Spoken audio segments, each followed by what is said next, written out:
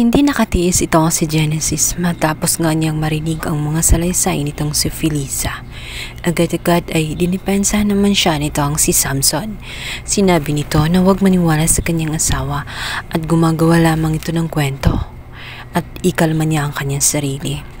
Nag-away na ang dalawa. Hindi na kasi naniniwala itong si Genesis dito kay Samson. Nadala siya sa mga pinagsasabi nitong si Felisa. Hanggang sa muntik na nga suntukin ni Genesis itong si Samson. Lumabas naman itong si Ayla.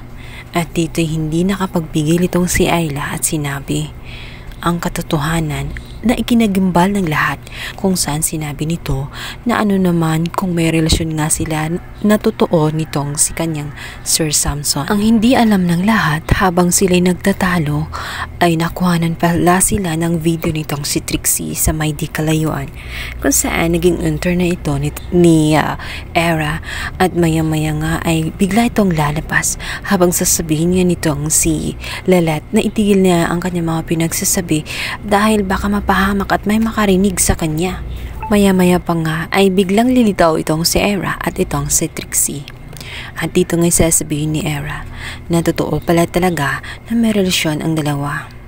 Ngunit hindi ito aaminin ng lahat. Siyempre didepensa nila ang side nila. Ngunit wala na silang may tatago dahil sinabi nga ni Trixie na nakuhanan niya ng video at bawal nga mag-light hindi na sila makakalusot pa lalo't may ebidensya na nga silang hawak. Subalit sinabi ni Bonnie na hindi agad-agad uh, makukuha ang points doon dahil nga sa hindi pa rin conclusive ang sinabi nga nitong si Ayla. Patanong ang kanyang pagsasalita or kumbaga aamin ang naturang video kung saan tinanong lamang niya itong si Samson at naniniwala itong uh, si uh, Court at itong si uh, Bonnie na kayang-kaya nila depensahan. Bagay na. Nawanan lamang nitong si Era. At sinabi nito na wag silang pagkasiguro dahil matibay ang kanilang ebidensya at klarong-klaro na na may relasyon ng dalawa at talagang totoo ang sinasabi ni Felisa na sila ay lumabag sa kasunduan kung saan ang uh, usapan ay gagawa lang ng bata subalit, subalit lumagpas na nga sila doon at posibleng ang makukulong ito si Samson. Matapos makaalis nga itong sila Era at itong si Trixie, agad-agad ay sinabihan ni Samson itong si Ayla na bakit niya sinabi ang mga bagay na iyon. Gumawa lamang siya ng isang patibong binigyan niya ng bomba ang kalaban kung saan ibabato sa kanila at yak na sasabog silang dalawa at magdidiin sa kanya para makulong. Paano na ngayon? Ngayong may hawak na nga sila na ebidensya dahil nakuhanan nga sila ng video. Sa kabilang banda, hindi naman mapakali itong si Ino. Nagpaalam ito na mag-CR, subalit iba pala ang kanyang pakay. Nakita niya sa may hallway itong si Trixie at agad nga niya itong kukunin ang naturang video. Nagtatalo silang dalawa dahil sa lakas nitong si Ino ay nakuha niya ang cellphone nga nitong si Trixie at nabura niya ang naturang video. Naman tuluyang nasaktan nitong si Trixie subalit umarte na nga ito at umiiyak. Habang palabas nga ay uh, inaalalayan siya nitong si Era.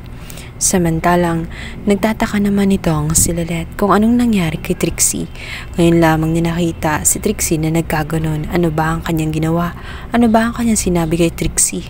Tiningnan niya si Ino sa kanyang mga mata at agad tinanong kung may ginawa na naman ba siya kay Trixie o may kinalaman ba siya sa nangyari kay Trixie. Subalit hindi aamin itong si Ino Magkukunwari lamang itong si Ino na tela walang nangyari at walang kinalaman sa lahat-lahat.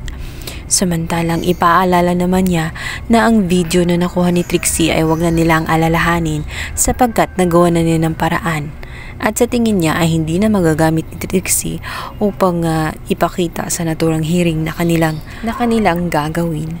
Sa kabilang banda, magugulat naman itong sina Era at itong sina Frankie dahil biglang darating itong si Ayla at sasabihin nito na may mahalaga siyang sasabihin at kung makakatulong ba daw ang kanilang kampo sa oras na sasabihin niya ang katotohanan.